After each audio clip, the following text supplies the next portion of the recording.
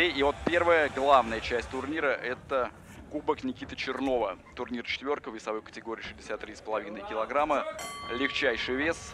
И первая полуфинальная пара Мороза против Вашнева. Морозов в синих перчатках, Вашнев в красном.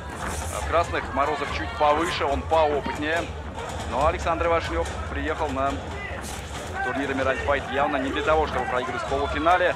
Хотя, конечно, правила Эмиральд Про, по которым проходит поединок для Ивашнева в новинку. Чем они особенные? Можно бить руками, ногами, коленями. И можно 5 секунд работать в клинче, что, конечно, для представителей классического кикбоксинга всегда создает определенные неудобства. Александр Морозов профильный таец, поэтому для него работа в клинче, конечно, более, э, более приемлема.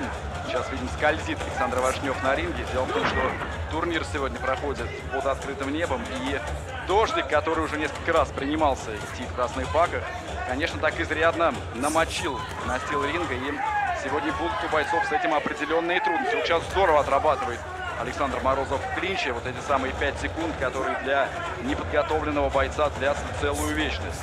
И видели мы, как оказавшись за спиной у Вашнева, Морозов несколько раз всадил соперника колено, и Вашнев сейчас пытается ответить вертушкой. Но, конечно, по такому скользкому рингу это делать очень опасно, прежде всего для себя. Снова клинч. Видимо, что и Вашнев тоже успел попасть коленом. И уже не первый раз Ивашнев попадает с левой руки. Левый боковой, достаточно размашистый, но находит челюсть Морозова. Скользят бойцы добавляет, конечно, это определенный, от определенного драматизма этого боя. Чем-то схватка похожа на э, битву хоккейных тафгаев, которые должны бороться не только друг с другом, но еще и стараться при этом удерживать равновесие. Ну Ивашневу, наверное, надо перестать пытаться пробиться back kick, потому что просто теряет он равновесие и позволяет сопернику э, контратаковать. Очень лихо начали парни, а ведь им сегодня кому-то из них придется провести еще и второй поединок. Кстати, сообщу вам, что во второй полуфинальной паре Тахир Токарев, э, представитель Старого Оскола, будет сражаться с Олегом Голосовым из Орла. Два опытных достаточно парня, особенно что касается Тахира Токарева. Э, он, наверное, подходит к этому турниру в ранге фаворит. А вот Александр Морозов, Александр Вашнев, такие темные лошадки. Вчера Александр Морозов на официальном взвешивании заявил, что он просто не может позволить, чтобы Кубок Никиты Чернова, а, трофей, который посвящен памяти друга и одноклубника Морозова, ушел куда-то в другую, в другой город. Но вот сейчас пропускает, Морозов пропускает жестко. Видели мы, как осел он после бэккика Александра Ивашнева.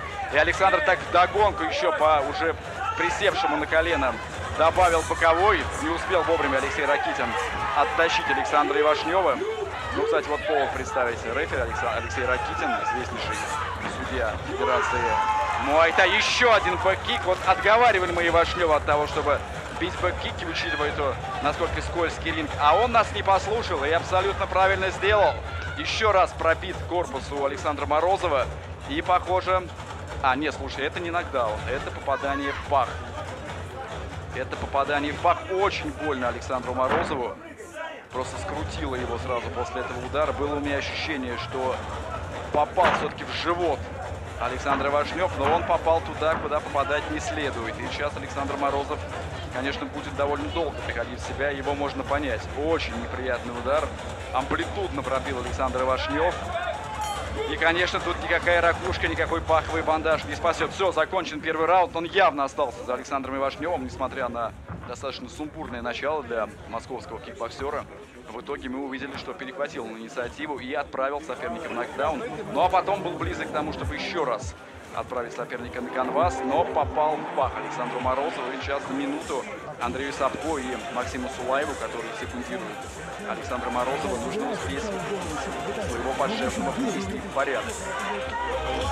Видимо, что Александр Ивашнев даже не присаживается на табуретку, просто рвется он в бой, тут аж подколбашивает юного бойца из столицы. Всего-навсего 19 лет Александру Ивашневу. Uh, успел он открыть счет профессиональном, в своих профессиональном рекорде. Вот на турнир Миральд Файт приехал впервые и сразу же попал в турнир четверку. Напомню, что сегодня главное событие турнира именно турнир четверку весовой категории до 63,5 килограммов. Турнир посвящен памяти Никите Чернову. блестящему в прошлом тайбоксеру, уроженцу Красных Баков, увы, трагически погибшему в марте этого года в автокатастрофе. Второй раунд начался. Александр Морозов тут пытается реваншироваться за счет физической мощи. Он сейчас в клинче просто стаскивает на канвас соперника. Понял Александр Морозов, что лучше из этих объятий клинча Ивашнева не выпускать. Опасен на дистанции Ивашнев. Опасен прежде всего ударами с разворота. Сейчас промахнулся Ивашнев. Александр Морозов вовремя дистанцию разорвал. И пытается Александр Ивашнев уже на ближней дистанции отработать боковыми. Но здесь сразу хватает его в клинч Морозов и пытается за счет более уверенной работы именно в клинче забрать начало второго раунда. Но Ивашнев пока, видимо, чувствует себя уверенно. Он так несколько сумбурно начинал, несколько раз сам оказался на канвасе после неудачных back kick ов, но в итоге приноровился. Сейчас бэкфист с Александра Ивашнева успел Александр Морозов отвернуть голову. Такое ощущение, что Александр Морозов стал побаиваться ударов Ивашнева, как-то постоянно он моргает. И это, конечно, плохой знак для профессионального бойца, если начинает он опасаться ударов соперника. Вот в клинче Александр Морозов, конечно, может э, набирать баллы. Он в этом компоненте должен себя чувствовать намного увереннее соперника, который по правилам Emerald Pro еще ни разу в жизни не выступал. Ну, сразу несколько back kick ов. Морозов просто стоит на месте и становится легкой мишенью для Александра Ивашнева. И еще один back kick. Ну, дождался Александр Морозов. Так он стоял, стоял, стоял на месте. И в итоге один из ударов Александра Ивашнева, удар с разворота, нашел цель. Второй нокдаун в этом поединке. А, лимиты нокдаунов, насколько я понимаю, на турнире сегодняшнем не предусмотрены. Здесь нет правила 3 нокдауна. Есть правило 3 нокдауна э, в одном раунде, но нет общего лимита нокдауна. Ну, сейчас растаскивает Алексей Ракитин соперник. Этот клинч, конечно, был просто спасительным для Морозова. Ивашнев здесь просто начинает разбивать соперника. Ой-ой-ой-ой-ой-ой-ой! Вот это вертушка! На сей раз не в корпус, а в голову поднял Александр Ивашнев и красивейшим ударом с разворота точно пяткой в челюсть попадает Александру Морозову и снимает бойца из Йошкар-Олы с пробега.